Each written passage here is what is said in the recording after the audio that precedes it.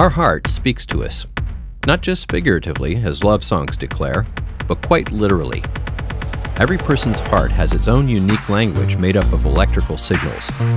We're working on translating those signals into information that can be used to develop individualized therapeutic plans when the heart isn't functioning properly.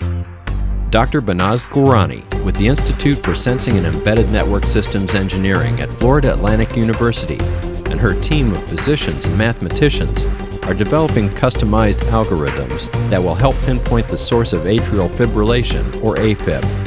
AFib is one of the most common heart rhythm disorders, and it affects more than 2.3 million Americans. The patient experiences rapid, chaotic electrical signals entering their heart's upper chamber that cause it to beat erratically. People with AFib suffer because they lose their lifestyle, their mobility, and eventually, if left untreated, life itself. The primary treatment, called AF ablation, tries to block these spastic signals by cauterizing heart tissue.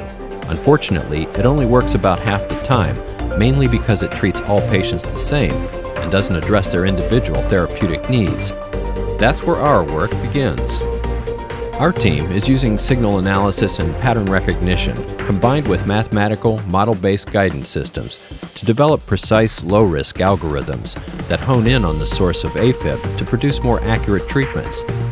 This targeted approach significantly reduces and may even eliminate the destruction of healthy cardiac tissue, which is often a byproduct of the current treatment. Less scar tissue in the heart allows for a more active, independent lifestyle. Signals from the human body communicate with us. We're applying engineering principles to better understand what our bodies are trying to tell us and solve problems in human physiology. That's the fascinating part of this process.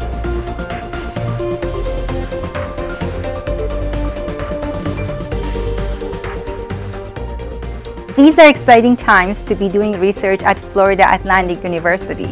Come join us.